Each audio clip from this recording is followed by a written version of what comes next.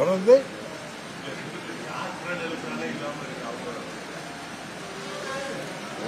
பல முறை சொல்லிட்டேன்.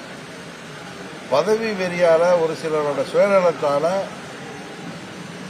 அம்மாவுடைய இயக்கம் தொடர்ந்து பலவீனமாயிட்டு இருக்கு. அதை மீண்டும் உண்மையான அம்மாவின் தொண்டர்கள் அனைவரும் ஒன்றிணைந்து மீட்டெடுப்போம் சொல்லியிருக்கிறார்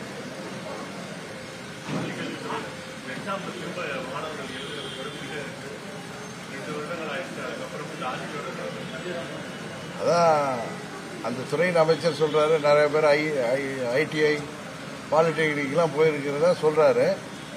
அது உண்மைன்னா அதுக்கான புள்ளி விவரங்களை அவர் வெளியிடணும். ஏன்னா மக்கள் மத்தியில் டிராப் அவுட்ஸ் நிறைய இருக்கேன்னு கேள்வி இருப்ப அதுக்கு விளக்கம் அளிக்க வேண்டியது புள்ளி விவரங்களோட ஆதாரத்தோட விளக்கம் அளிக்க வேண்டியது அமைச்சரின் கடமை. அதை செய்வார் என்று நம்புகிறேன்.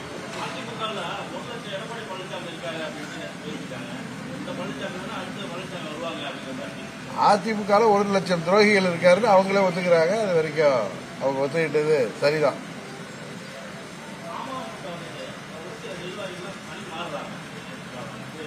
யாரோ ஒரு சிலர் தங்களுக்கு பதவி குறைப்பு நடந்தாலோ இல்லை சொந்த பிரச்சனைகளாலோ அது அங்கொன்று இங்கொன்று நடக்கதான் செய்து உடனே அந்த இடத்துல அவர்களை விட தகுதியானவர்கள் திறமையானவர்கள் பதவியில் நியமிக்கப்படுகிறார்கள். ராகுல் காந்தி தலைமையில் இருக்காரு இன்னைக்கு சட்டமன்றத்தில் காங்கிரஸ்ல போராட்டம் பண்ணிருக்காங்க அது இல்லாம தமிழக ஃபுல்லாவே அந்த போராட்டம் இருக்கு இது எந்த அளவுக்கு தாக்கத்தை ஏற்படுத்தும் நீங்க உங்களுக்கு தெரியும் ரெண்டாயிரத்தி பதிமூணுல அவர் மன்மோகன் சிங் ஆட்சியில இது மாதிரி அரசியல் ரீதியாக பழிவாங்கல்கள் நடக்க வாய்ப்பு இருக்கிறதுனால தான் அந்த சட்டத்திட்ட திருத்தம் கொண்டு வரணும்னு சொன்னாங்க.